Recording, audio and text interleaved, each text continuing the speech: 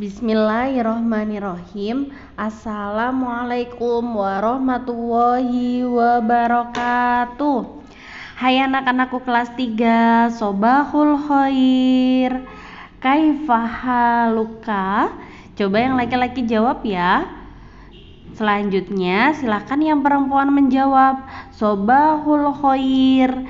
Kaifahaluki Alhamdulillah anak-anakku kali ini kita akan belajar tentang fil baiti. Coba dibaca bersama-sama yang ada di layar fil baiti. Ya, yang artinya di dalam rumah. Yang akan kita bahas yaitu benda dan ruangan di dalam rumah. Kemudian kata tunjuk zalika. Kita belajar bersama-sama ya. Mari kita mulai dengan bersama-sama membaca basmalah. Bismillahirrohmanirrohim. Kosakata dalam bahasa Arab atau disebut juga dengan al-mufrodatu. Nah, kita belajar bersama-sama ya. Caranya dengan membaca tulisan yang ada di layar dan menirukan yang Usada ucapkan. Oke, mari kita mulai tilfazun. Tilfazun. Apa anak-anak tilfazun. Perhatikan gambar dan bahasa Arabnya.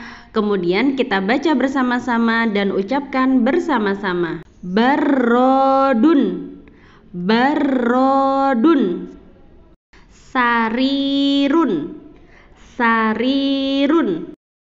Hammamun hammamun matbahun matbahun sakfun sakfun Mari kita latihan adik-adik atau anak-anakku sebutkan bahasa Arab sesuai dengan gambar. Apa bahasa Arab dari gambar ini?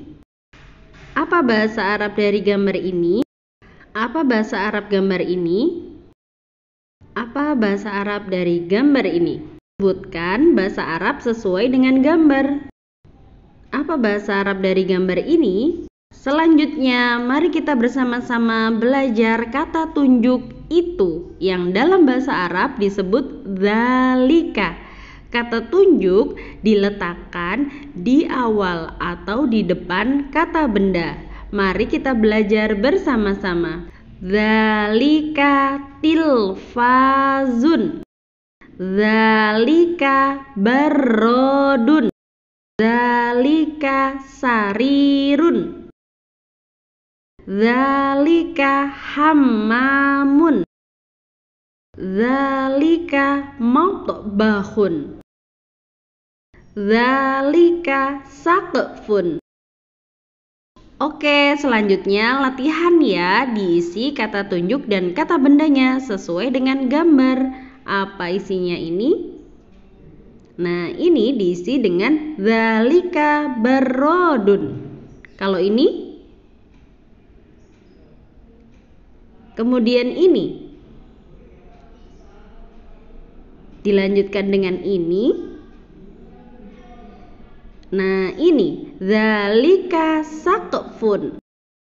Alhamdulillah kita telah belajar bersama. Selanjutnya kerjakan LKS ya yang ulangan harian kedua tema fil baiti nomor 1 sampai 10 disilang jawaban yang benar dan kirimkan by WA ke Ustadzah Wafik kan secara langsung dari LKS-nya. Alhamdulillah kita telah selesai belajar bahasa Arab dengan tema fil baiti. Nah tatim bilhamdalah alhamdulillahirabbil alamin. Wassalamualaikum warahmatullahi wabarakatuh. Don't forget pray on time ya teman-teman.